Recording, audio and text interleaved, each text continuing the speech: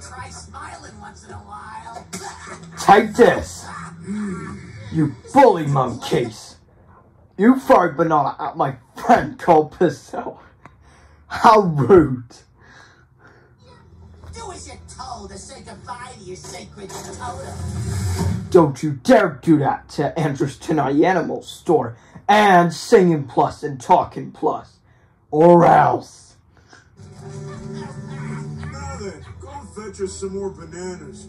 How rude of you, bully monkeys.